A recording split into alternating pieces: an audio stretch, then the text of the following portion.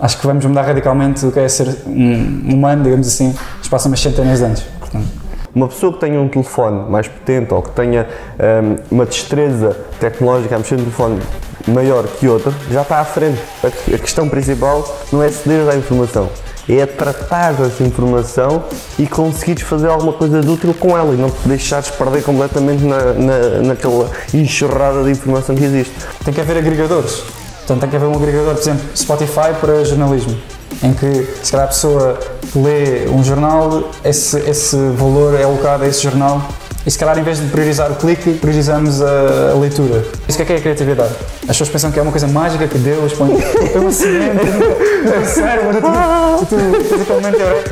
Isso é um processo mental de associação entre vários conceitos, entre, claro que há pessoas que são geniais, eu não sei se uma inteligência artificial nas próximas décadas vai conseguir descobrir o que Einstein descobriu. Há concursos de literatura em que se envia histórias feitas por AI, não- são indistinguíveis. Até houve um concurso de literatura no Japão, se não me engano, que uma inteligência artificial ganhou o terceiro lugar. É impossível, é impossível que daqui para a frente haja mais emprego. Não acredito. O mindset em si, ou seja, há muita coisa, mas o mindset para mim é o mais importante de uma pessoa. Hard skills, tu compras um curso de 10 euros no Udemy ou.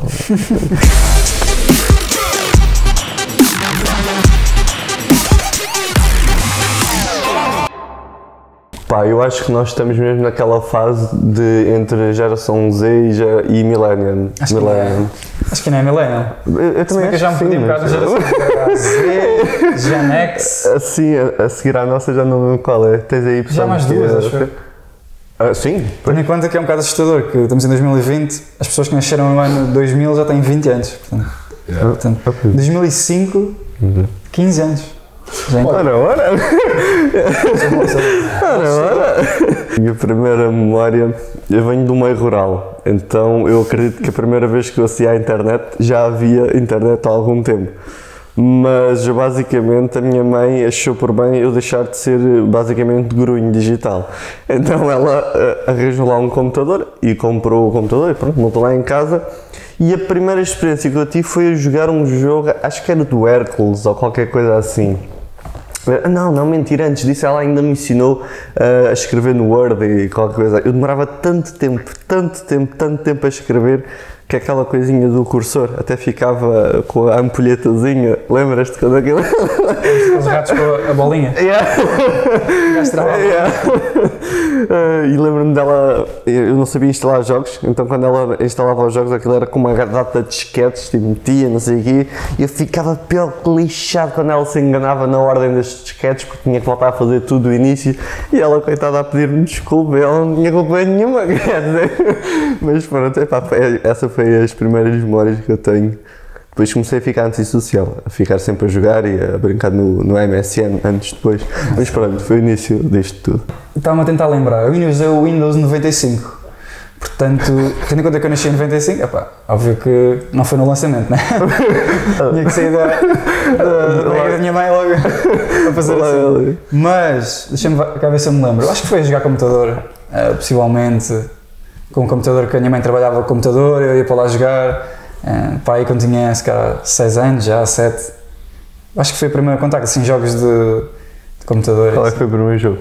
Epá, eu não me lembro do primeiro jogo que joguei. Eu sei que adorava um jogo que era viciado, que era o Tesar. Ninguém conhece isto. É um jogo tipo Age of Empires. Aquele tipo de jogos de estratégia e de... Pá, eu adorava esse tipo de jogos. E acho que foi o primeiro contacto que eu tive, assim, com, com a internet. Foi, foi isso. Claro que depois havia o MSN na escola, um gajo no quinto, quinto ano, sexto ano, ali mandar mensagens. Aquele som irritante. Que sei, Jesus, Aqueles, gifs, aqueles bonequinhos nunca funcionavam para ninguém. Mandavas, mas a pessoa tinha que instalar para, para ter. Pois é. Uma tecnologia arcaica, não é? Como hoje em dia, que mandas um GIF e é instantâneo. gente- é uma coisa banal, mas na altura não. Tipo, mandas uma coisa animada. eh, Estou aqui a falar de uma coisa que se calhar para ti é uma. É já a tecnologia futurista, tendo em conta a diferença, não é? Mas pronto, acho que foi aí. Eu acho que a tecnologia o ser humano são quase indistinguíveis, é? Desde que descobrimos o fogo, é? Que era uma tecnologia. Acho que o progresso tem acelerado cada vez mais rapidamente. Se calhar, desde a invenção do fogo até, se calhar, passado 100 anos, ou 200, ou milhares, é que se descobriu outra invenção. Hoje em dia, se calhar, anual, ou quase de mês a mês. Ou semanalmente. Acho que a tecnologia vai ter cada vez mais um impacto na nossa vida. Acho que vai ser cada vez mais radical e progressivamente mais pronto, intenso. porque acho que até a tecnologia começar a fundir com os nossos cor- corpos, eh, com a nossa mente, de certa forma, eu acho que é tudo uma questão de quando, não o quê. Eu acho que eu gosto bastante do movimento futurista, de certa forma, que as pessoas tentam pensar não a tecnologia nos próximos 10 anos, mas cá nos próximos 100. Acho bastante interessante como é que vai impactar a nossa sociedade. Eu acho que daqui a, se calhar, 200 ou 300 anos, não é assim um, um tempo tão grande em termos de escala cósmica, mas acho que vamos mudar radicalmente. Acho que vamos estar todos conectados, de certa forma, num só organismo, se calhar, quem sabe, mas acho que não é uma questão de se, mas quando. Acho que vamos mudar radicalmente o que é ser um humano, digamos assim, nos próximos centenas de anos. Portanto, eu acho que depois podemos falar de vários temas de como é que impactou, mas acho que no geral, acho que possivelmente até a própria espécie humana vai se transformar noutra espécie. Ah, quase certeza. Mas pronto, Rui, dá-lhe. Sim, eu concordo bastante com o que estás a dizer. Eh, Eu sinto que a questão da, da tecnologia da revolução, fala-se muito da revolução tecnológica e etc. Eh, Ou seja, eu percebo o, o, quando se diz da revolução tecnológica, etc. Mas eu acho que há, por exemplo, quando o meu pai fala de revolução tecnológica, não estamos a falar exatamente do mesmo, porque para mim não há entre aspas revolução tecnológica, porque eu tenho estado a apanhar com toda a parte. Eu faço questão de estar literalmente a produzir e a contribuir para essa revolução tecnológica. Portanto, eu percebo o ponto da revolução e etc, mas eu, eu sinto que não é propriamente uma revolução, é apenas o caminho das coisas. É, é pá, está a andar. e a tecnologia está a contribuir para isso. Quando dizem que o pessoal todo agarrado aos telefones no metro, aquela imagem muito célebre do pessoal todo no telefone, etc. Não é novidade nenhuma. Quando havia os jornais, o pessoal fazia exatamente, exatamente o mesmo. A diferença é que um era de papel. E agora, em vez de tu estás limitado ao que aquela redação está a escrever, etc., ou aquela tiragem tem, tu tens um, milhares de jornais no teu telefone ou no teu bolso que podes aceder a qualquer momento. Isso providencia, obviamente, ser muito mais fácil o acesso a essa informação. Mas, ainda pegando aqui no que ele estava a dizer, eu acredito perfeitamente, eu testo telefones, primeiro que tudo.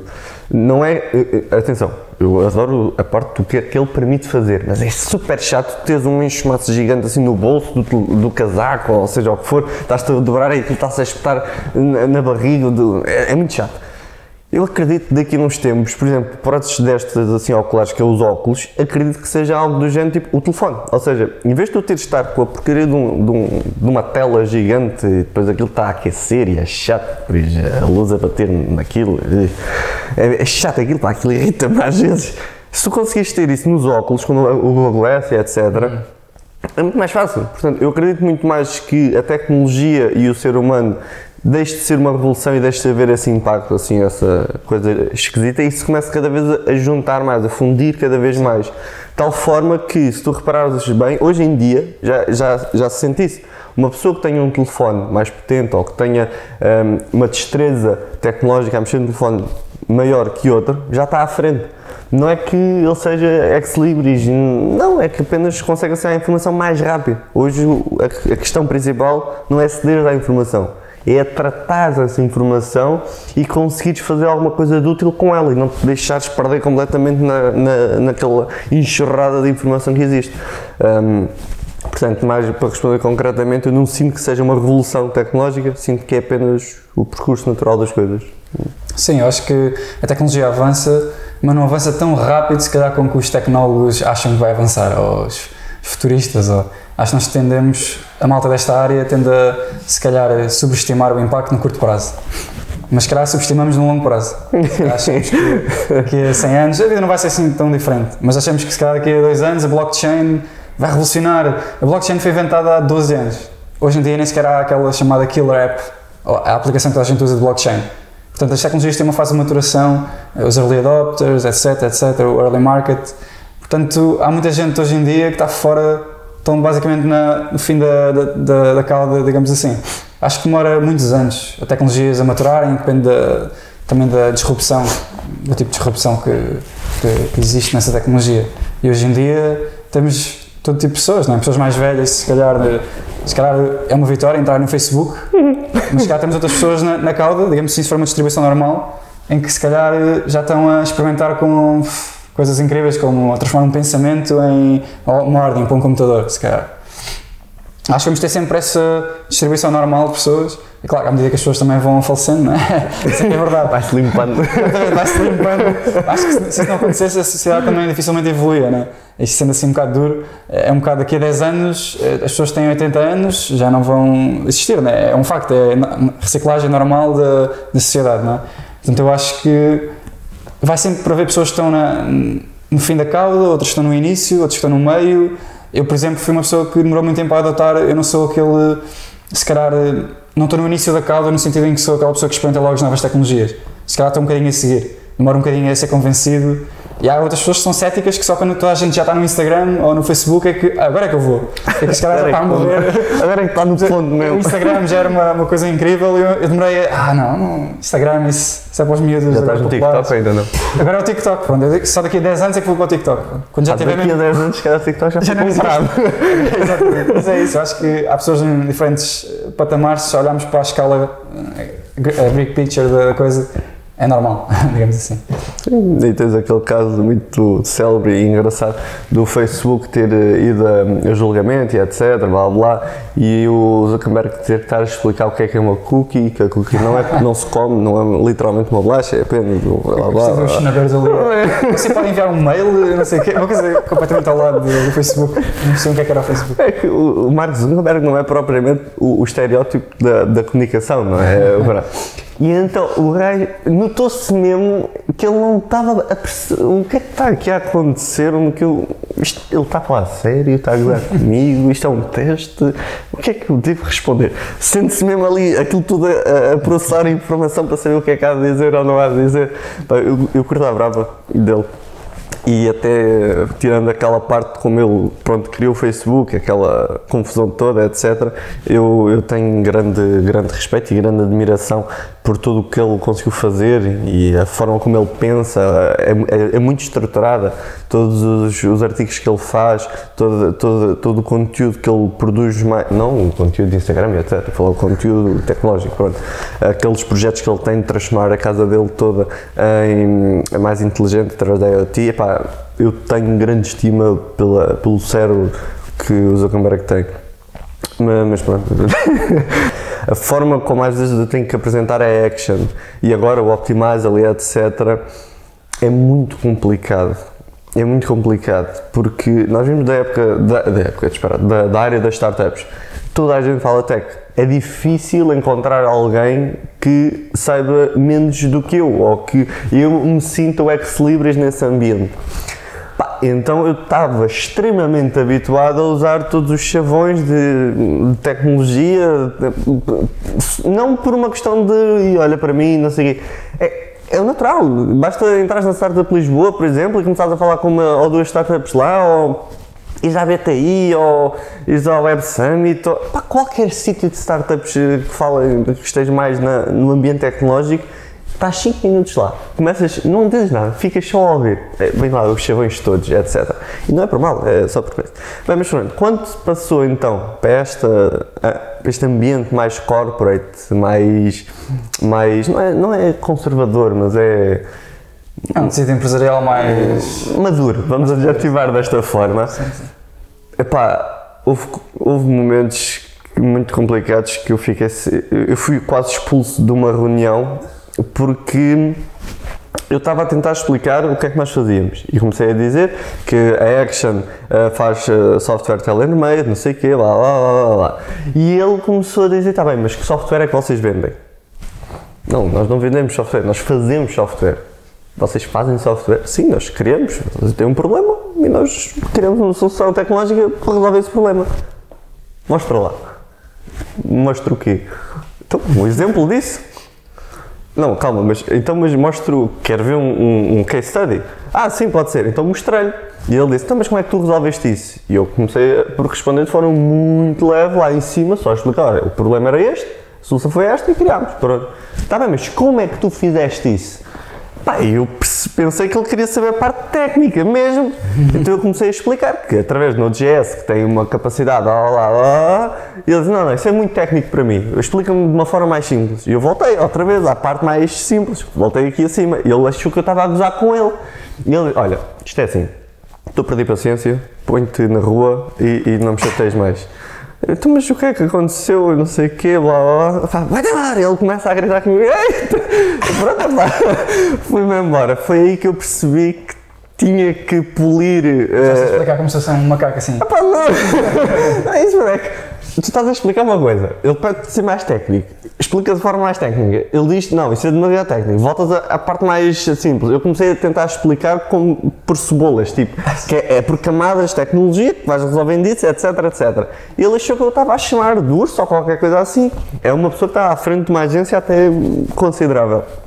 Pá, e pronto, foi assim que eu fui expulso, quase a pontapé, de uma da das primeiras 3, 4 reuniões ou apresentações que eu fui da Action. Portanto, sim, há a iliteracia tecnológica. Não sei se é iliteracia por si só, eu acho que é mais propriamente um, um desconhecimento do, do possível. Ou seja, quando tu começas a falar e começas a, a explicar que isto é possível, aquilo é possível, etc., e é só preciso ligar peças, a pessoa começa a perceber e começa a se instruir. A questão é apenas a falta de, de awareness pessoal que às vezes se tem, por estar tão preenchido com as coisas todas que tens para fazer, tens que trabalhar para pagar os ordenados dos teus colaboradores, tens os, os clientes X que estão a pressionar para entregares o projeto Y, não sei o quê. Chega a um ponto que começas ali a encalhar e a tecnologia, não, a tecnologia, a evolução dela continua a crescer cada vez mais rápido. Então há esse gap que muitas das vezes se sente como sendo de iliteracia ou grunhice tecnológica, mas no fundo, no fundo é apenas falta de disponibilidade causada pela falta de tempo que se tem para, pá, para se dedicar a essa situação. Eh, Portanto, é essa mais a minha visão. Nós ainda vimos muita televisão quando éramos miúdos. Acho que a nossa geração não é aquela que já está a ser contra a televisão. Agora há aquele movimento de. Se calhar a geração lo- logo a seguir, ou, ou, ou mais recente de todos, se é Gen X ou como é que se chama, que se calhar já não veem televisão. Já, televisão o que é isso? É, é um quase um statement. Não, não vejo, não quer saber, não, vivem no YouTube e no, no Twitch, e nesse- nesses sítios assim de. Portanto, nós ainda somos cara essa geração que, que ainda vê bastante televisão. Eu ainda vejo televisão, portanto, não vou não sou daquelas pessoas que dizem, ah, não, não vejo televisão, não, não quer saber. Pá, ainda, ainda, ainda, ainda vejo.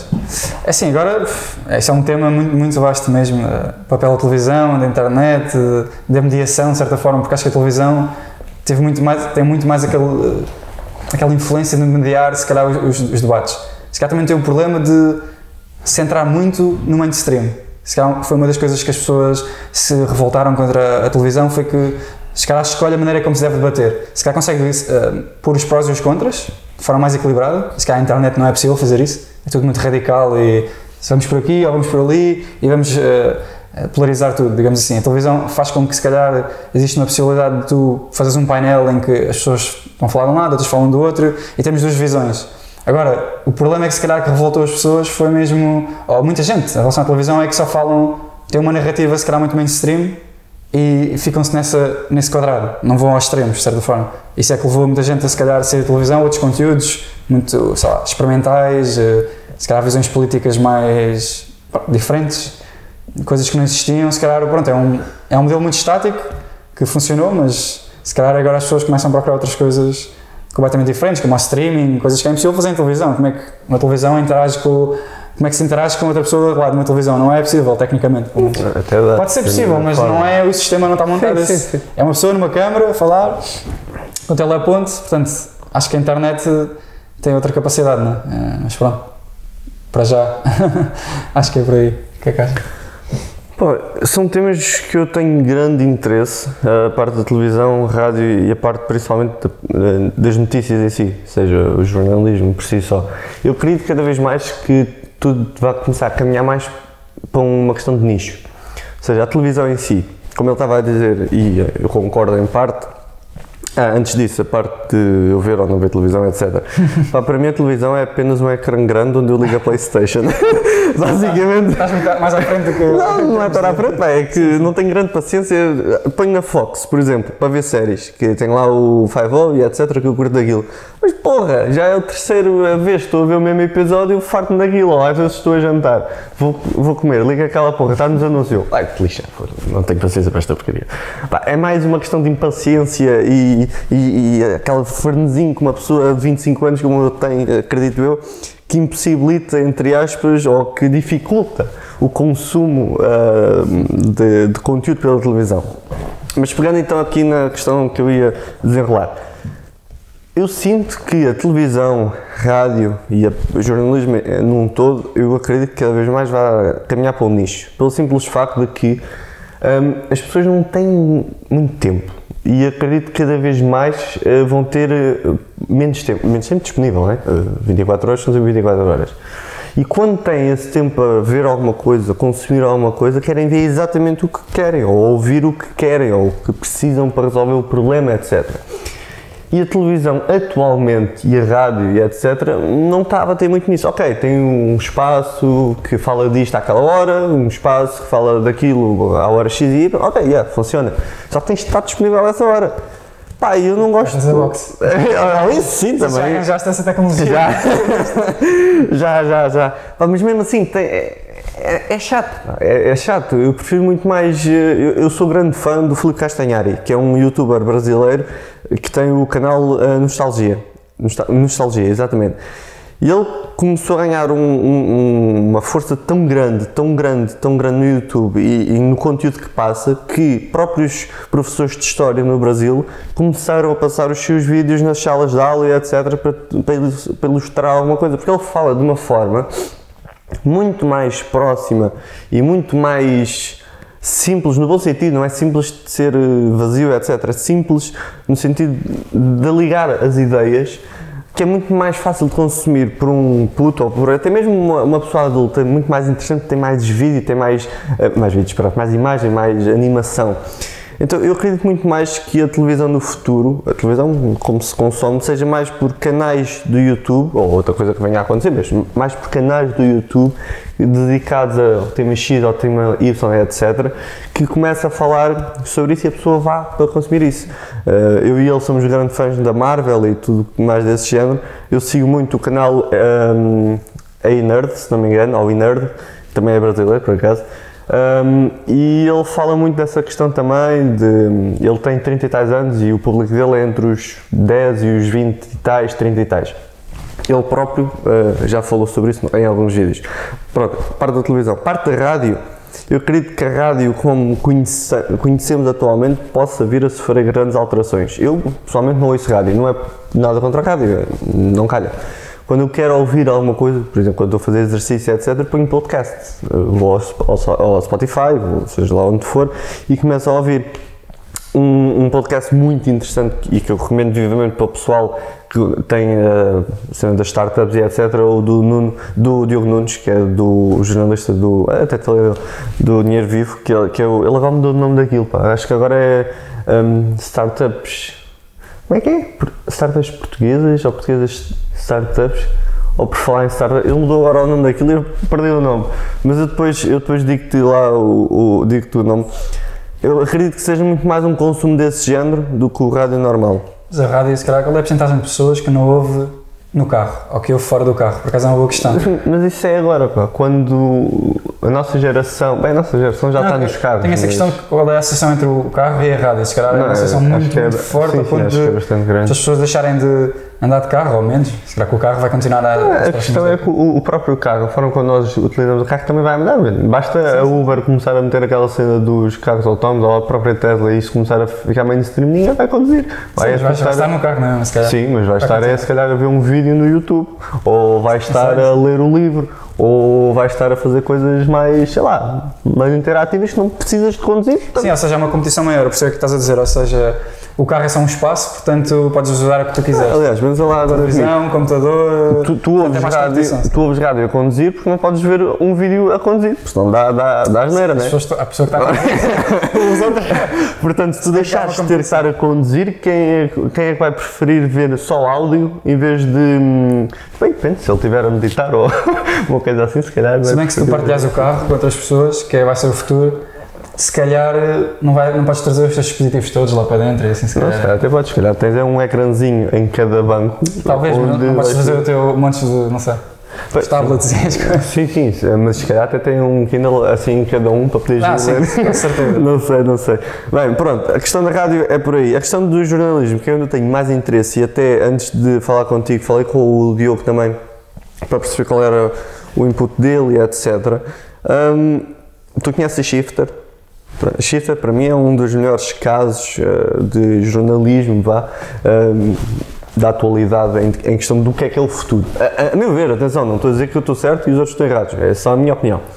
A Shifter tem, tem uma legião de fãs, vá, muito, muito forte mesmo. Se por algum motivo tens a infeliz ideia de falar mal da Shifter, pá, eu sugiro que te blindes bem, que vem daí, vai aí desgraça. Eles ainda estão a atingir pouca gente, pouca gente, os milhares já consideráveis, mas comparativamente com, sei lá, o Dinheiro Vivo ou o Observador, etc., obviamente ainda atingir pouca gente. Mas eu acho que é isso, como eu estava a dizer, o futuro, ou seja, é por nicho. Portanto, hum, das duas, uma, ou os grandes da atualidade se começam a perceber disso e começam ou a adquirir esses pequenos nichos ou a fazer parcerias com eles, etc., ou eles vão abaixo. Acho eu. Agora, uh, tens dados para apresentar isso? Pá, não. Não, não tenho, não tenho. Só tenho o feeling e do que é que eu tenho visto e de como é que eu tenho visto que pequenas organizações têm vindo a crescer cada vez mais e quando tu falas com alguém da minha idade e falas shifter, sim, sim, sim, sim, quando falas dinheiro vivo, ah, no sapo às vezes aparece lá, o observador no sapo aparece lá, mas shifter, sim, sim, sim, sim, Portanto, eu sinto que é mais por nichos e que vai haver um aglutinar, uh, um, um, um género de criação de clusters desses nichos e o pessoal vai se dividir por aí. Eu, no meu caso, ainda tenho um consumo um bocado variado. Ou seja, tanto, tanto leio revistas como. Uh, te vejo nas redes sociais, tenho a televisão também, debates, eh, ainda vejo debates políticos, portanto tenho um consumo bastante variado. Um, eu acho que é bastante interessante esse tema, acho que é dos temas mais interessantes hoje em dia, até com a, agora está muito, é um tema muito falado com a eleição do Trump, com as fake news, agora ainda toda a gente a falar nisso, o modelo, qual é o modelo de negócio de jornalismo que vai ter. Eu acho que essa questão dos nichos que o Rui estava a falar é um bocado perigoso se nós vivemos todos numa bolha, agora estou só, no meu, estou só no meu nicho de startups ou meu nicho de jornalismo de extrema-direita ou o que for, se calhar as pessoas vão se isolar em, em bolhas, não é? É um dos perigos, não é? Eu acho que agora há uma, de certa forma, há uma revolução nessa área, qual é o modelo de negócio mais correto. Como estavas a dizer, acho que o modelo de negócio de de otimizar para cliques em vez de criar leitura é um problema porque as pessoas só querem cliques, tráfego, uh, os títulos mais sonantes. Isso sempre foi assim no jornalismo, os títulos mais sonantes. Mas agora com a era digital eu acho que é muito mais fácil se calhar as pessoas pronto, serem distraídas e clicarem e, e, e irem para as suas echo chambers, que, é que agora se costuma dizer nos Estados Unidos, não sei como é que se diz em português, câmaras de eco, não sei como é que é a tradução. Mas acho que há um grande desafio neste momento. Qual é que é o melhor modelo? Eu acho que muitos órgãos de comunicação social estão a optar por um modelo de subscrição, mas isso é um problema grande porque quando nós temos para 10 modelos de subscrição, eh, é um bocado como agora a Netflix. Nós temos para uns 10 eh, programas de streaming. Portanto, isto é uma escolha quase impossível para se fazer e é impossível nós pagarmos tudo. Tem que haver agregadores. Portanto, tem que haver um agregador, por exemplo, Spotify para jornalismo, em que se calhar a pessoa lê um jornal, esse, esse valor é alocado a esse jornal e se calhar em vez de priorizar o clique, priorizamos a, a leitura, o feedback que a pessoa dá. Portanto, acho que há aqui muitos modelos interessantes. Acho que estava-se a tentar fazer agora uma coisa em Portugal que era Anónio, não sei se vocês conhecem. Não. É uma plataforma todos os, os jornais que estavam a tentar fazer isso, pronto. Mas, eu não sei o que é que aconteceu com esse, com esse projeto agora, mas... Mas para? Basicamente, tu entravas no, no, jornal online e tinhas que tinhas logo uma paywall em todos. E todos estavam num grande grupo, que fazia sentido, que assim para ler alguma coisa, tinhas que entrar nessa plataforma.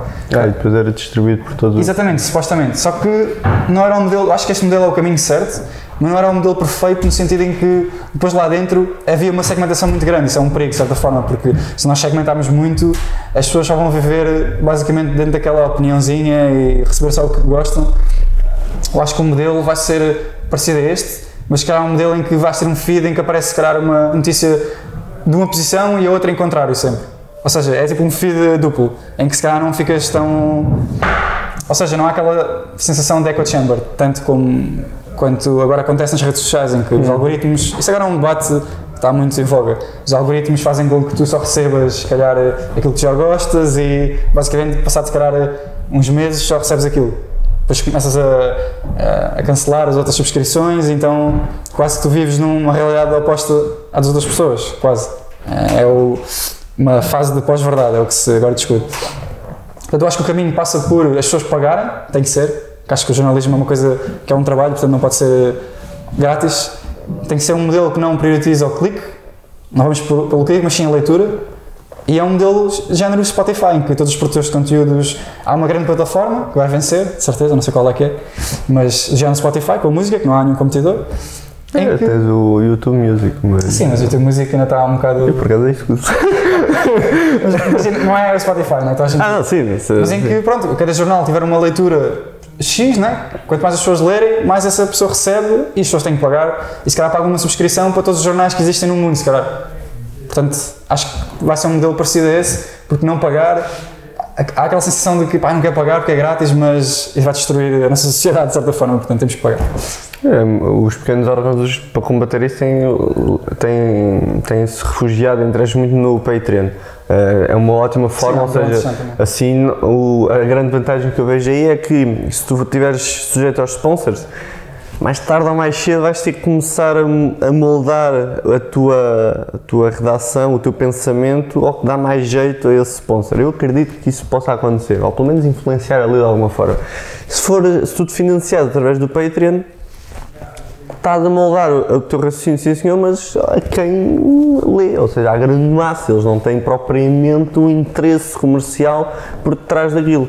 Mas isso também tem grandes, grandes problemas. Também estou com ele na relação de como é que se consegue aqui arranjar um, um modelo vá financeiro para conseguir meter isto tudo a funcionar e acredito que seja mais algo por aí. Sim. Se bem que eu vejo aí as lutas de ego a complicar muita coisa. Sim ah, porque não, não, o meu jornal é que é melhor. Não, se vires aqui, o meu tem mais cliques, sim, mas o meu tem mais leituras, portanto eu mereço uma fatia maior.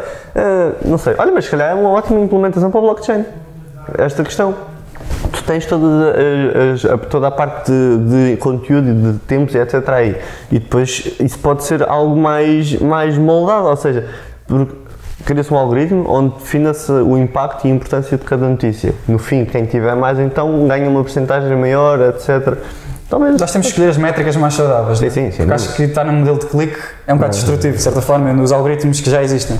São os algoritmos em que a recomendação ou seja, o Facebook funciona com que tudo, tudo que tenha mais engagement de parte daquela pessoa, ele vai priorizar isso, algoritmos, machine learning. Né? Portanto, nós temos que também influenciar, neste caso, estamos a falar da inteligência artificial, né? temos que influenciar para ter os nossos valores, de certa forma. Isso é vezes, perigoso. Sim, mas tem que ser, ou seja, nós não temos a noção do impacto que as coisas têm. Eh, quando fazemos um, como estávamos a falar há bocado, quando fazemos um algoritmo e se calhar ele quebra as regras hum. do jogo ou o que for, isso é uma das discussões que vamos ter nas próximas décadas, que é os algoritmos que queremos e a inteligência artificial, como é que ela pode fugir do nosso controle, sim. sem nós queremos. E isso é falado muito hoje em dia, o bias da sim, inteligência sim, artificial. Nós temos que criar um sistema em que qual é as métricas, ou seja, quais são os valores mais essenciais uh, nesse espaço jornalístico.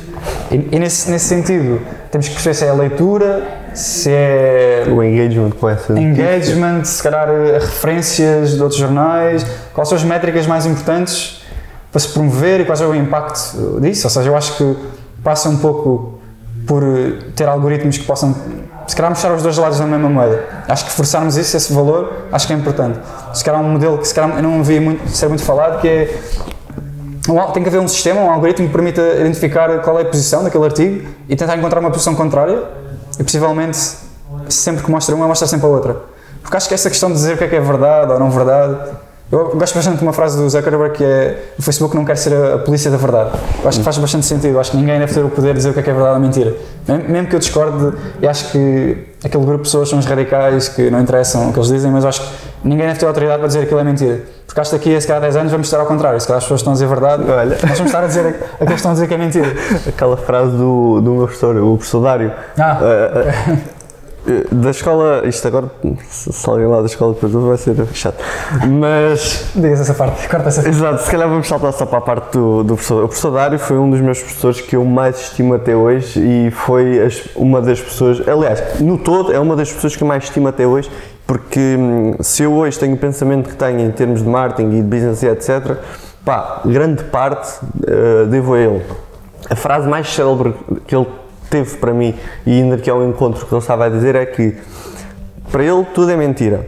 A verdade é apenas a, a mentira mais. Eh, que, que reúne mais consenso na atualidade. Eu ao início achei aquilo muito estranho, porque então ninguém, ninguém sabe nada, é tudo uma mentira, então eu vou estar a mentir. Não, ou seja, é, pronto, a questão é que o que é hoje verdade, amanhã pode não ser.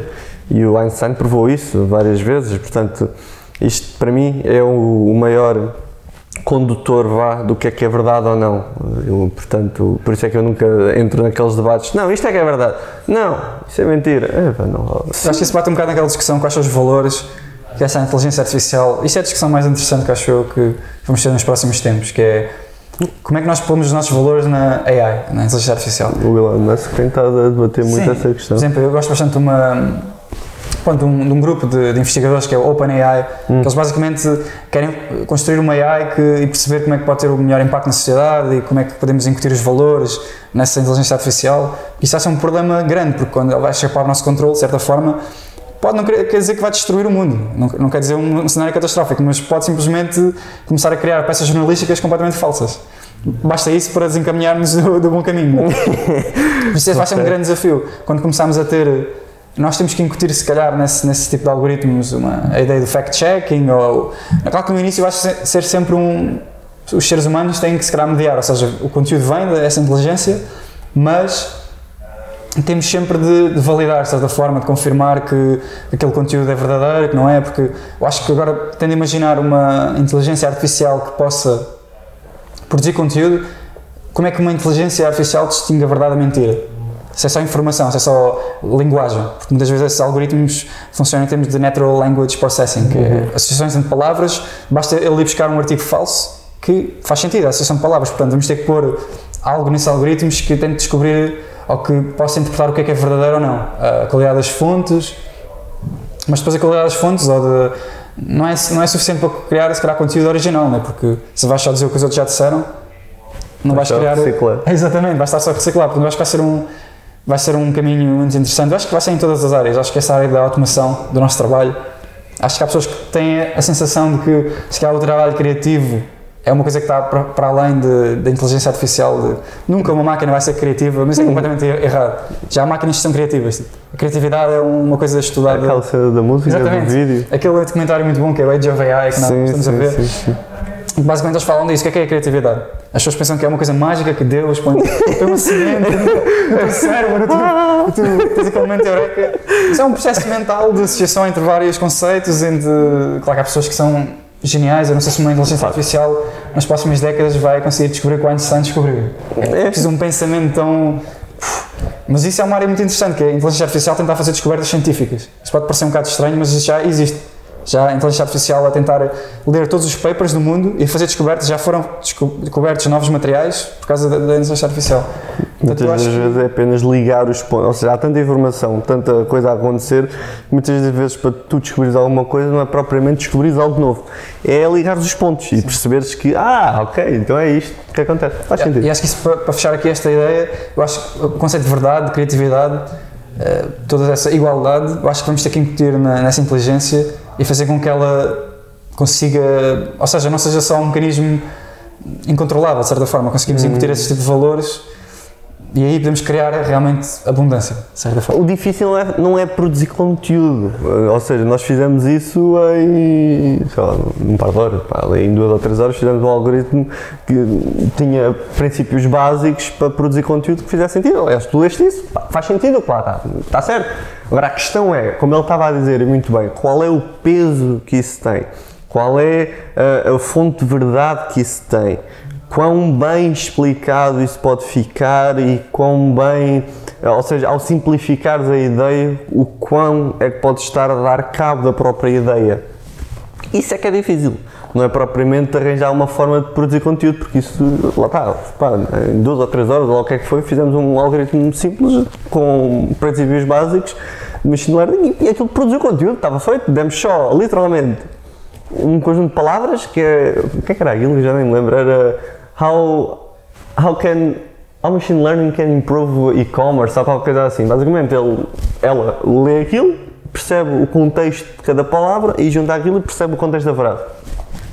Depois foi correr não sei quantas centenas de milhares de informação sobre esse, esse tema e produzir um conteúdo de 800 e não sei quantas palavras. 800 porque nós dissemos que era 800, podíamos ter posto só 500 ou 400, seja o que for. Mas é pá, pronto, depois começámos a ler aquilo.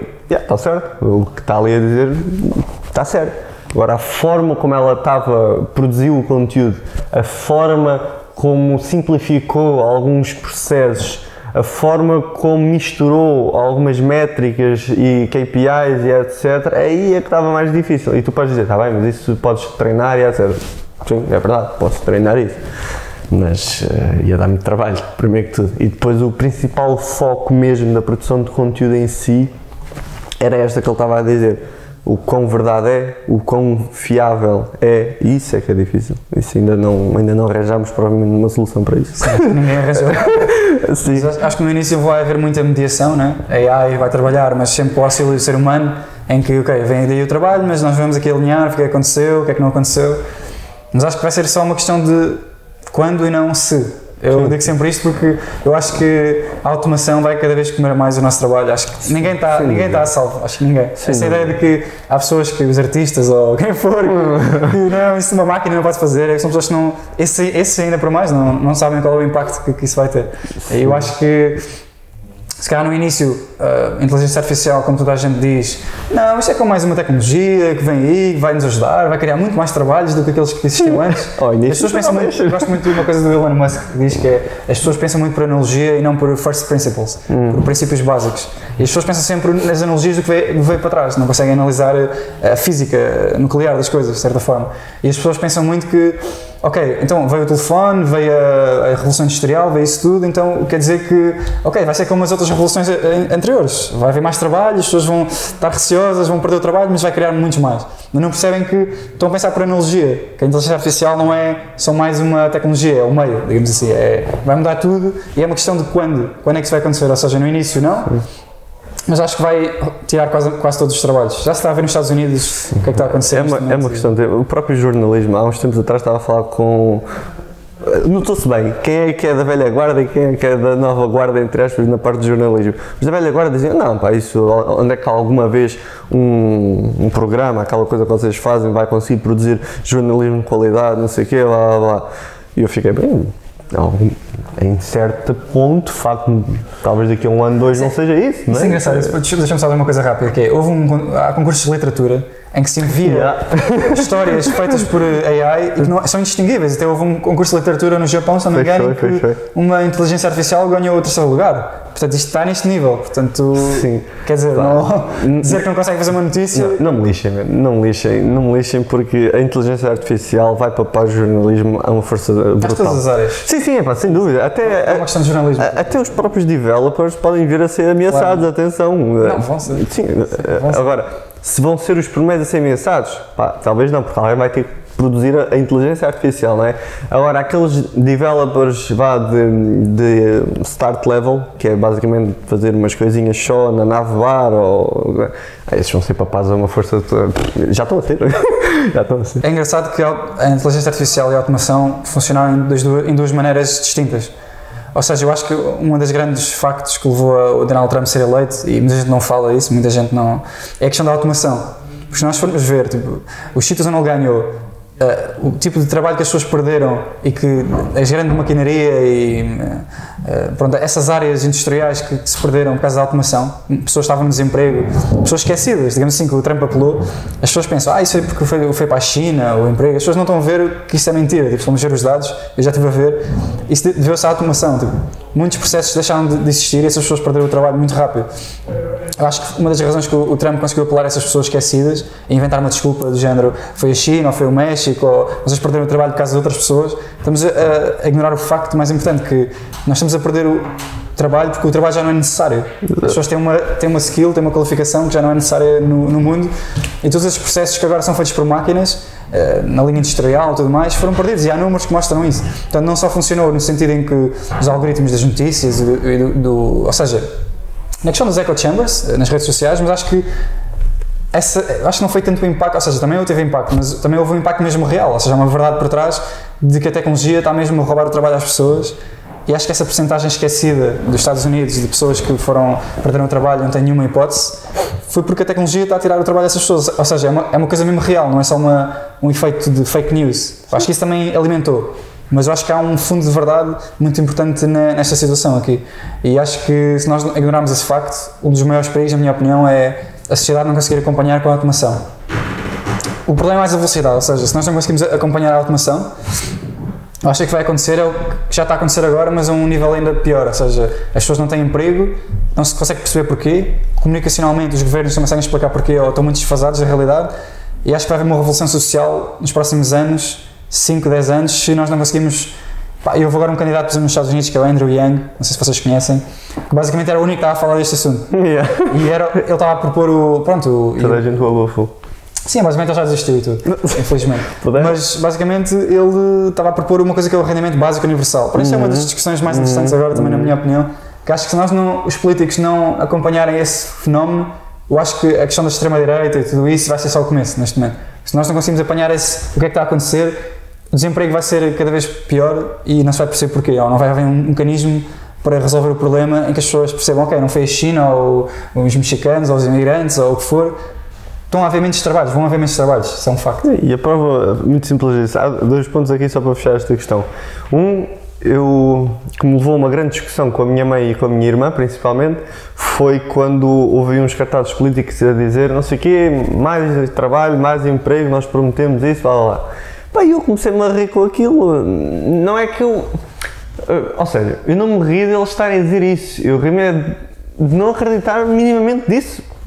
É impossível. É impossível que daqui para a frente haja mais emprego. Pá, não acredito. Ok, momentaneamente, sim, acredito que sim. Agora, a médio e longo prazo, não. Basta nós pensarmos, e nem é preciso ser gênio. Voltemos atrás.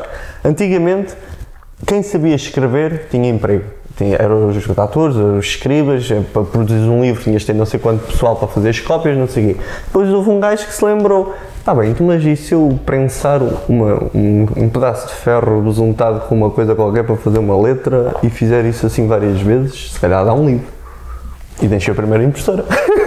Basicamente. E quem antigamente era o erudito que sabia escrever, de repente um gajo que nem sabia escrever decentemente com jeito, pá, fez um, um império que deu origem à primeira Quer dizer, não é a primeira, mas é pelo menos a primeira que eu me lembro e que eu tenho de coisa da história, não sei o quê, de rebentar com uma data de empregos uh, num sentido positivo. Portanto, é impossível uh, isto não ir para aí. Uh, se a partir do momento que tu começas a conseguir criar um sistema que produz notícias, que produz vídeo, que produz modelos de negócio, que produz seja lá o que for, quem estava a fazer isso ou é um ex-libris que faz uma coisa que a máquina ainda não consegue fazer, cá sempre isso pessoal, né? Ou é melhor começar a pensar se gosta de pesca ou de jogar Playstation ou outra coisa qualquer. Mas há muitas pessoas que vão, vão ouvir e vão pensar ah, mas isso já aconteceu, foram criados mais trabalhos e a tecnologia foi sempre um meio que nos permitiu inventar e criar eh, novas soluções, mas acho que não tem nada a ver com o que aconteceu antes. As pessoas não estão a perceber o que vem. Vai ser mais rápido do que as pessoas pensam, mas vai, vai ser uma coisa na próxima década, duas décadas, mas se nós não percebemos o problema antes de ele vir, acho que vai ser destrutivo para, para nós. O problema já veio. Sim, mas, O problema já veio há uns sim, anos. claramente que está aí o problema e nos próximos 5 a 10 anos vai ser uma, algo muito interessante. Claro que as tecnologias demoram a ser adotadas. Eu não sou daquelas pessoas que pensam que pá, blockchain, pá, Não, vai já, já. revolucionar o sistema financeiro, pá, amanhã, pá, amanhã, já, daqui a dois anos, esquece, não, isso não vai acontecer. Vai demorar tempo, mas eu pessoalmente sou uma pessoa que gosta de ver o que vem a seguir, não estar preocupado com o local, o que está a acontecer agora e perceber o que é que vem daqui, daqui a 10 anos, 20 anos, o que for, não é? Mas já está a ser um problema. Eu acho que a questão da eleição de Donald Trump já veio daí. Portanto, não foi catastrófico. Há pessoas que pensam que sim, mas não foi catastrófico ao ponto de destruir a nossa sociedade. Mas acho que vai, vai cada vez piorar. Se nós virmos nos Estados Unidos que os empregos mais eh, comuns é truck driver, que vai ser facilmente automado, Esse vai assim com uma velocidade. Re- retalho, pessoas estão a atender lojas e, portanto, no retalho muitos centros comerciais estão a fechar, basicamente, é uma estatística que existe. O call centers, que é um- uma coisa também muito comum, a Google lançou agora o Google Duplex, que é uma coisa que consegue simular um ser humano basicamente em Meu Deus. conversação. E muito bem. Não sei se aquilo terá sido só uma demozinha bem feita ou se já está A assim. quantidade de trabalho que se vai se nível. perder nos próximos 10 anos vai ser brutal. sim. Pode não ser em 10 anos, pode ser um bocadinho a mais, mas a previsão não vai estar muito longe. Se não forem 10 anos é, é só por barreiras uh, Sim, acho que as, as empresas demoram a adotar a tecnologia, a financiamento, a desenvolvimento, as coisas demoram tempo, não vai ser amanhã daqui a 5 anos. Mas eu acho que a quantidade de emprego que se vai perder, só começando por aí, eh, call centers, Não, automáticas disso, e ainda há de ver, o, ainda, ainda há de ver os, os drivers, porque é 13% ou o que é que é. Sim, é, a profissão mais comum nos Estados Unidos é Isso vai, condutor de caminhão. isso vai assim num instante. Então, se a Tesla já faz carros a conduzir sozinhos e do que eu sei, não, não, tenho uma, não é uma fonte 100% fidedigna, não é daquelas de bandeira, etc. Mas das fontes que eu tenho, a Tesla e outros players ainda não estão a vender essa tecnologia e a pôr isso em prática eh, de forma massiva por questões de barreiras que estão a colocar a essa questão. Porque imagina o que é que é limpar 13% do pessoal que está a meter dinheiro na sociedade ou a fazer circular dinheiro. É um, é um rombo ainda.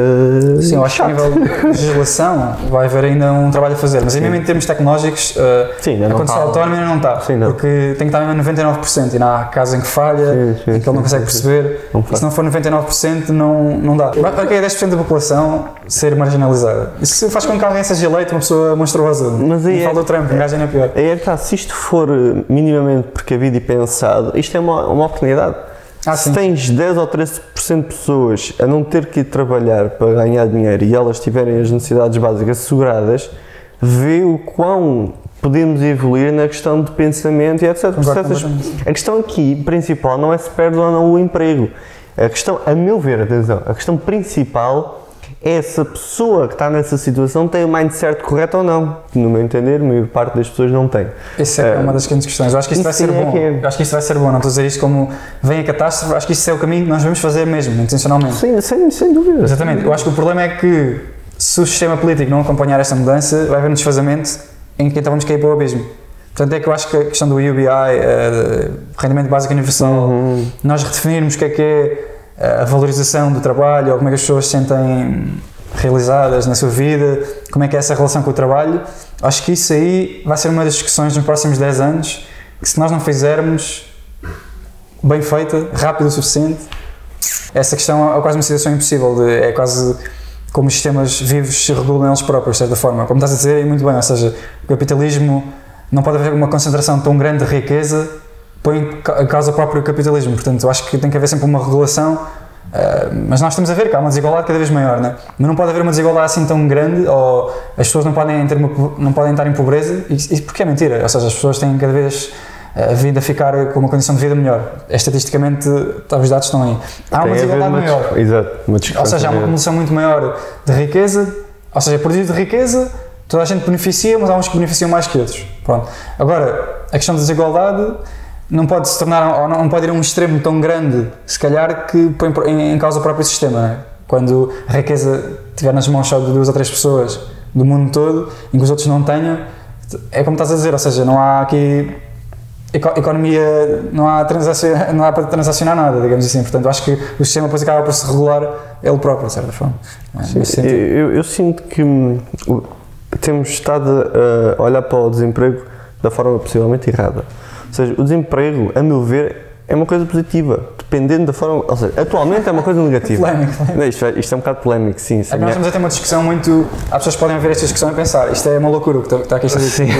Porque é, uma- é um pensamento mais exponencial, ou seja, mais o que é que vai acontecer a seguir. Não estou a falar do que vai Sim, acontecer sim, amanhã. Sim, sim, sim. Eh, Sim, a curto prazo o desemprego é uma desgraça, atenção, não, aqui isto fica bem claro. Agora, eu sinto é que o aumento do desemprego deveria ser uma métrica positiva, ou seja, quanto mais pessoas nós tivermos sem terem que trabalhar por obrigação, melhor ou mais qualidade vai ter esse trabalho das pessoas que estão a trabalhar, porque elas estão lá realmente porque querem, porque gostam do que fazem, estão lá de corpo e alma a dedicar-se ao que querem fazer mesmo e a melhorar e sentem que têm uma missão mesmo e estão lá para cumprir.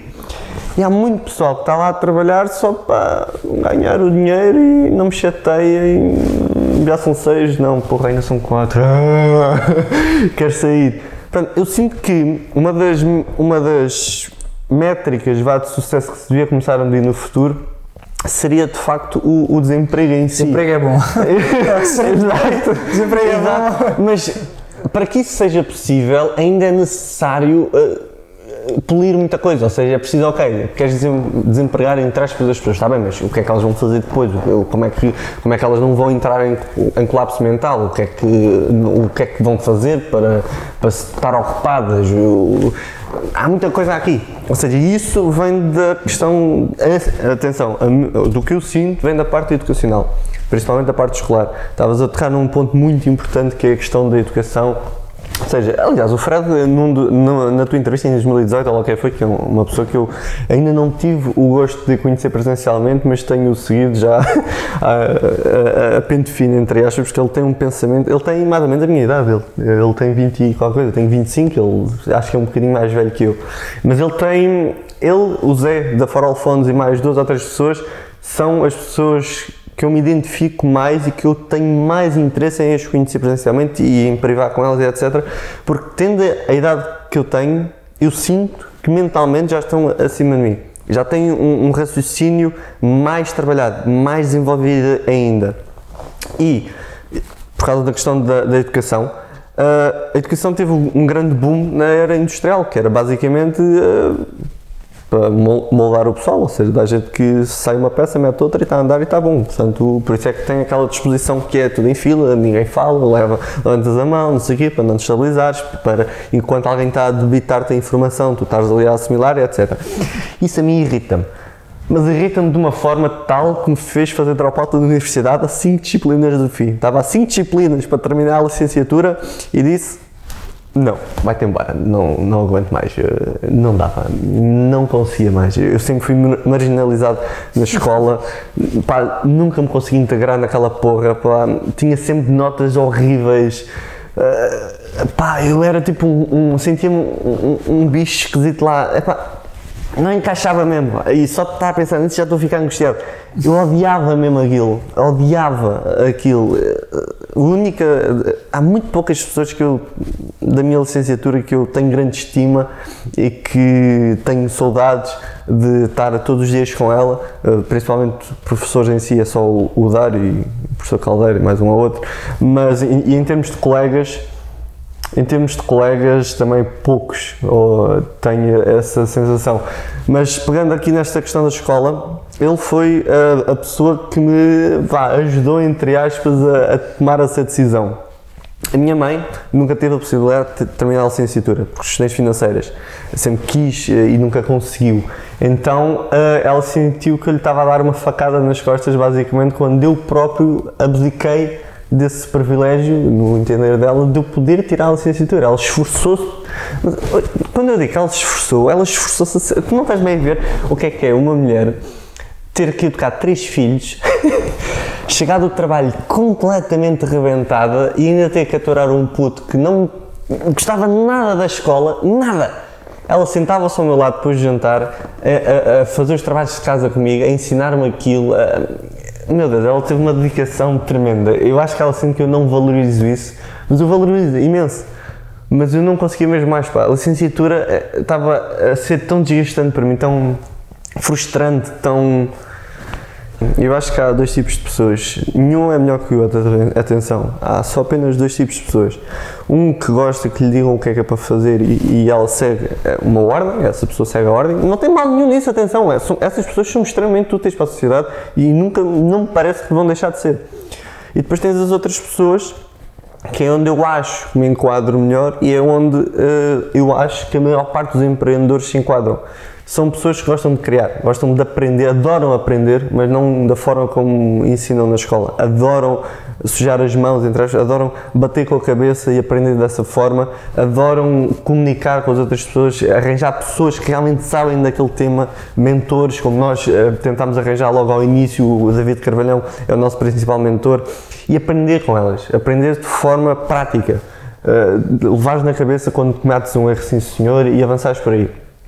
A escola foi criada, sinto eu, atenção, para a primeira tipo de pessoas que eu mencionei, ou seja, para as pessoas que gostam mais que lhes digam o caminho, que lhes indiquem o caminho. E mais uma vez, não tem nada mal nisso, mas eu não me enquadro minimamente nisso. Nada mesmo. Acho que as pessoas inovadoras, não estou a dizer que nós somos as pessoas grandes inovadoras, Sim.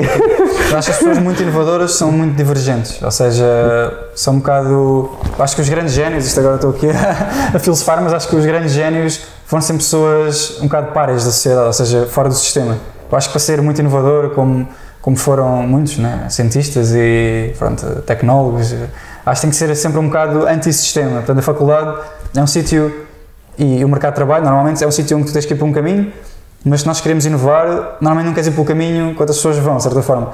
Portanto, eu acho que, no nosso caso, que fizemos dropout da faculdade, faz algum sentido, porque as pessoas que estão descontentes com o sistema, ou querem mudar alguma coisa, ou, ou, ou pensam de forma diferente, normalmente são sempre, pronto, há sempre um problema né, com essas pessoas, porque toda a gente está a para um caminho e tu não vais, vai sempre haver uma resistência, ou seja, vão-te ridicularizar ou vão-te criticar, ou, é normal, não é? Mas Sim. isso é sempre um processo que sempre aconteceu, tipo, tens grandes génios que foram, morreram na solidão e Sim. agora com um ponto menos negativo. Há aqui muitos problemas do sistema de ensino que estávamos aqui a falar o dia todo sobre Sim, isto. sim. Nem vale a pena irmos por aí, mas É um dos temas que nos interessa mais. Yeah, Aliás, a nossa exatamente. origem foi a tentar resolver Exatamente. eh, esse problema eh, com a Disrupt. Sim. Só que depois eh, tivemos de tomar outros caminhos, e, mas vamos eh, vai voltar agora sim, sim. ao bootcamp da Sim, Disrupt sim, uns sim. meses. Num modelo bastante diferente, mas vamos voltar a isso. Porque é uma das coisas que me tira ao sono. Eu não quero que futuras gerações tenham que passar pela treta que eu passei, eu e outros tantos. Há de haver pessoas ainda que sofreram mais com a estadia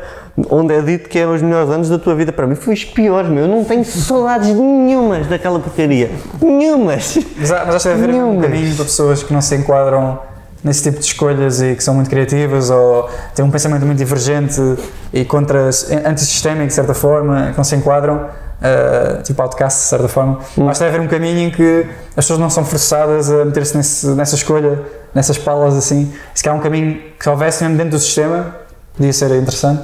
Um curso ou o que fosse que pudesse alimentar essa criatividade e que as pessoas pudessem simplesmente, simplesmente explorar, pronto. Acho que podia ser interessante, eh, para não falar outros problemas que existem, que é o facto de na escola, eh, basicamente nós estamos lá, não sei quanto, 15 anos ou... Sei Não lá. faculdade, mas uns 15 anos, e a única coisa que não, Não que mais, aprende... meu. Tens, tens, tens ter É mais ou menos, desde os 5 até aos 17, 18, 15 anos já. Não, antes, bem, antes dos pode 5 não ser. vais para a escola, acho eu, mas Pois. vou vou assumir que são 15 anos, não sei o, o o número exato. Mas nós passamos 15 anos a aprender factos. Factos. Factos hoje em dia, vais à internet e tens os factos. Eu acho que uma coisa que falta muito é as pessoas eh, na escola aprenderem uma vocação, uma paixão, ou o que é que gostam de fazer, experimentar. E desenvolver principalmente os soft O que, é skills. que, o que é que interessa? É, é verdade que há um mínimo de cultura que é preciso ter, isso aí esquece. Sim, sim. Agora, porque é que eu preciso, é preciso anos a tentar perceber quais são o rei de Portugal, qual é que foi o não sei quê, em vez das pessoas perderem tempo a descobrir qual é. Perderem não, investirem Investirem, tempo. porque as pessoas chegam à faculdade e não sabem o que é que querem fazer. Como é que é possível? Nós vivemos numa sociedade em que, se calhar, mais de metade das pessoas que chegam à faculdade, se eu lhe perguntar o que é que tu queres fazer, não sabem, não sabem qual é o sonho delas, o, o, o, o sítio delas no mundo. Pá, isso acho que é um problema grande porque as pessoas simplesmente depois acabam por ir para uma área forçadas ou porque é a expectativa que têm delas. E agora até pegando nisto para fazer o, o, o pescadinho no rabo da boca. Ou seja, começa tudo aqui na questão educacional. Tu fazes para trabalhar para te encaixares numa peça. Chegas a essa função que é essa peça e não te sentes nisso. Ficas desempregado. Tiveste não sei quantos anos a trabalhar para te formares para estares eh, ali ex-libris nessa cena e depois é desvalorizado. O mercado desvaloriza completamente a tua função, o teu conhecimento, todos os anos que tu investiste, servem para nada. Serve para nada. Bola. Isso vai gerar muita confusão. É óbvio que, que temos que escolher um caminho, né? uma profissão, porque senão também a sociedade não colapsa, não funciona. Agora eu acho que a escolha é preciso haver escolha, né? ou seja, cada caminho que a pessoa toma, o caminho tem que haver em várias etapas uma escolha do que é que vai fazer, mas acho que a escolha não é amparada por um sistema que te dá, digamos, a, algo para tu saber escolher. Esse é- acho que é o problema, que é chegas a, uma- a um ano em que tens de escolher a tua área, ciências, artes ou o que for. Mas antes disso andaram-te a ensinar factos só, não? Te ensinaram o que é que cada pessoa nessa área faz, não experimentaste o que é que se faz nessa área, não, ou seja, eu acho que é muito artificial, tu escolhes, mas a pessoa é quase forçada numa área tem que escolher um bocadinho por intuição ou por o que lhe dizem ou, Ou o que é que os pais Ou foram. o que é que os pais foram. E já- bem, depois já estás a ir num caminho, já estás a ser, ou seja, desde o ensino secundário ou do básico ou o que for, já estás a ser incli- inclinado para um caminho, depois é que há muita gente que muda de curso e muda e está sempre a mudar. E, Mudei três vezes. exatamente, isso não é, não é um problema, mas acho que podia ser reduzido se nós tivéssemos um, um sistema que é o que eu costumo dizer que é um sistema orientado para a tua vocação, ou seja, desde o início tu experimentares o que é, que é ser carpinteiro, cientista, uh, teres pessoas que já fizeram isso, uh, ires a esses locais de trabalho, percebes o que é que está a acontecer, em vez de estar só, só a estudar factos, história, o rei de Portugal e não sei o quê, focar mais nessa parte, do que é que um filósofo faz, uh, experimentar, e sempre nesse caminho, o que é que a pessoa quer ser? Sempre o, o que é que aquela jovem, aquela criança, o que é que poderá crescer, quais são os valores nessa área, qual o impacto sobre na isso. sociedade. E acho que aí é que tu podes fazer uma escolha, porque se faz uma, uma escolha em que a pessoa teve 5 anos a estudar eh, o mais um igual a 2 e o rei de Portugal era este, e economia, não sei o quê, eh, oferta e procura. Isso é tudo muito bom, isso é importantíssimo, mas a pessoa depois vai, vai ser o quê? Acho que o ensino é muito focado em factos e está muito exterior ao ser humano. Ou seja, se nós ensinarmos eh, a matemática de uma forma completamente abstrata e isto é o que tens que aprender, as crianças não têm, ou os jovens, não têm aquele discernimento de pensar que- como é que isto se aplica, o que é que isto serve na sociedade. Exato. Ou seja, nós, nós invertemos o ensino, de certa forma, por exemplo, a tecnologia, ou a pintura, ou a arte, como é que isso se influencia, o que é que um pintor é na sociedade, como é que isso... Então, Porquê é que ele faz isso? Porque é que ele faz isso e, e inverter, ou seja, começar, ou seja, na matemática, qual é o impacto da matemática na sociedade? Porque é que a matemática é valorizada? Qual é a relação da matemática contigo? Para que é que serve? E há pessoas muito boas que fazem isso, atenção, não estou a dizer que isto é uma coisa inovadora que ninguém pensou, como é óbvio que não. Mas no teu telemóvel, como é que a matemática está relacionada com o teu telemóvel ou com a tua vida e a partir daí começar a ensinar a matemática. Nós Exato. partimos sempre da realidade, ou seja, ou seja, partimos sempre da realidade para o ser humano em vez do ser humano para a realidade, que eu acho que seria um ensino muito mais interessante. É o Golden Circle, basicamente, ou seja, seguires o why, how e what. Em vez de estar sempre a fazer o what, o que é que é, estás sempre ali nessa porra, é começar é, é diferente, ou seja, tal como o Simon Sinek partilha e essa ideia do, do Golden Circle e é uma ótima, uma ótima forma, é uma ótima forma sim. É quase brute force, é pegares na matemática e nos dados e enfiares na cabeça das pessoas, aprende, isto vai ser importante para ti, não sei bem como, mas aprende. Exato, eu testo isso. Uma, uma das coisas, eu, eu cresci num, num ambiente completamente diferente em casa, um ambiente completamente. Daí também a relação dos meus pais não tem funcionado muito bem, mas pronto. Ou seja, a minha mãe. A minha mãe e o meu pai são completamente diferentes. Um exemplo muito prático: tens uma bolacha só no pote. Se eu perguntasse à minha mãe se posso comer a bolacha, ela dizia sim, divides a bolacha para ela te dar durante a semana toda e todos os dias vais comendo um bocadinho. É uma, uma solução lógica, ok? Consegues prolongar. O meu pai dizia logo: não, não vais comer bolacha nenhuma, tu vais é pegar nessa bolacha, investigar como é que se faz essa porra, produzires isso em massa, depois comes as bolachas todas se quiseres e vendes essa porra para conseguires comprar outras coisas. Tu em casa era o capitalismo versus comunismo. Completamente, completamente. Aquilo, aquilo, ensaio. exato, exato, exato. E isso fez-me ter eh, um contacto com duas realidades completamente diferentes. Ou seja, enquanto que muito pessoal no verão ia, sei lá, ficava a jogar a bola ou seja lá o que for, eu, eu ia trabalhar com o meu pai. Ele ensinava-me, ele levava-me aos clientes dele, ele punha-me a ver o estado operacional, a parte tática, a parte estratégica e muitas das coisas fez-me isso. Ele nunca me impingiu uma profissão, nunca me. Aliás, sempre des- desincentivou ao máximo de eu ser empreendedor, ao máximo, porque ele foi e sabe o quão, o quão lixado é, porque. Eh, O pessoal pensa sempre que, ah não, os empreendedores ganham, ganham muito dinheiro e não sei o quê, não sei o quê. Pá, sim, eh, é possível, daqui a uns tempos, não sei, agora ao início, ao início tu és quem ganha menos dentro da empresa. Depois, sim, depois começas a, a- a tirar bastante dinheiro e etc, se as coisas correm bem. Mas isto pegando na parte da educação, o meu pai foi quem me retirou todo o peso, basicamente, de eu ter que ter diploma, de eu ter que encaixar na escola. Ele disse, não pá, vê o que é que tu queres, experimenta, pondera e vê o que é que o feedback tiveste. E vai à procura. Isto foi o, o maior ensinamento que o meu pai me podia ter dado pá, e até hoje eh, eu vai-me guiar de certeza, hoje e no futuro vai-me guiar de certeza no resto da vida eh, essa mentalidade básica, entre aspas, eh, o mindset em si, ou seja, há muita coisa, mas o mindset para mim é o mais importante de uma pessoa. Hard skills tu compras um curso de 10 euros no Udemy ou, e aprendes aquela porra quando tens vontade. Agora, mindset, não. não me lixem. O mindset é das coisas mais difíceis de desenvolver. Pá. Tu tens que ter hábitos, tens que criar hábitos, tens que tu ter noção das tuas limitações para, para criar planos de rebentar com essas limitações. Se tu entrares no meu quarto, logo na, no meu guarda-faces tens dois papéis com metas para cada trimestre. E isso é o que me tem guiado, basicamente, uh, para montarmos a empresa e etc. Ou seja, a minha, a minha irmã diz que eu não tenho vida, basicamente. Porque ela entra naquele quarto e só vê tipo metas e coisas assim e pergunta-me onde é que eu tenho tempo para brincar ou descansar ou seja lá o que for ou descontrair.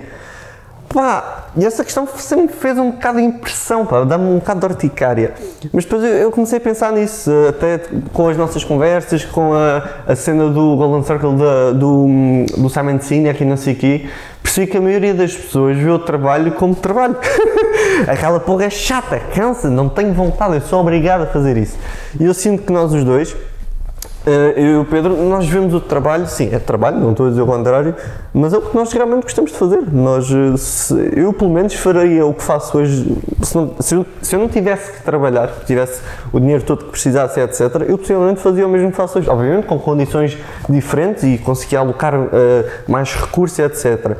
Mas, se eu agora ganhasse, sei lá, 5 milhões de euros, eu não ia afastar-me e não fazer mais nada. Possivelmente o que ia fazer até era, era aquela cena que estávamos a falar no outro dia, ia contratar, era pessoal de topo para me ensinar eh, o que eu adorava mesmo, ter o pessoal da HubSpot a explicar-me e ensinar-me parte de marketing. Tipo o Warren Buffett. Warren Buffett é todos os anos leiloa um jantar com ele próprio, o que é que é? Mas é para a caridade, assim. Eu vou agora um um, um asiático que pagou para aí 10 milhões, o que é que foi? Para jantar com o Warren Buffett. Há um leilão. Assim, eu assim, gosto muito do que faço mesmo. Acordo todos os dias, eu acho que é algo que toda a gente devia aspirar, mas eu sei que não é muito realista, né?